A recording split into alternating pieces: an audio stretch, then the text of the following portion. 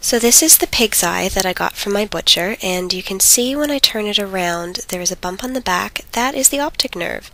It has been cut off, but that is what connects the eye to the brain and allows you to see things in the world around you. Now when I turn the eye around, you can see the pupil and the iris. The pupil at this point still looks black, and the iris around it is that slightly darker brown. Now what I'm poking is the cornea, which is the clear covering that covers the eye and focuses the light into the, the pupil. Turning it to the side, you can see that the cornea does stick out. Now we're going to open up the eye so that we can see what is inside of it. And you can see it is a clear jelly that's actually called the vitreous humor and all that thick jelly is what gives your eye its shape. And the eye is very tough to open. You can see the scissors behind me that I needed to open it up. So when we open it up the whole way, we can see it's all full of jelly and we can see that the pupil is actually clear. That dark around it is the iris, and the pupil is a clear hole in the middle of the eye.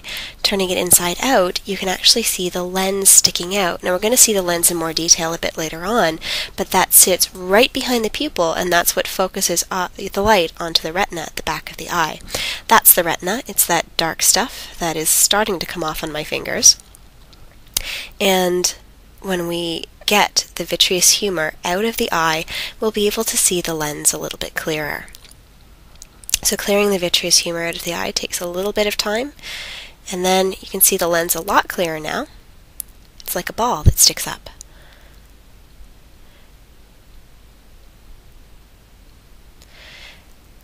Now, this spot at the back of the eye that my thumb is right above is actually where the optic nerve enters the eye, so there is no retina covering it. Now I've got the lens out of the eye. It is very difficult to hold on to. It's very slippery.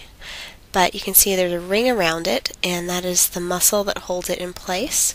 And you can move the lens back and forth. And it's a little bit like a magnifying glass. It's just a clear ball that sits in the eye right behind the cornea.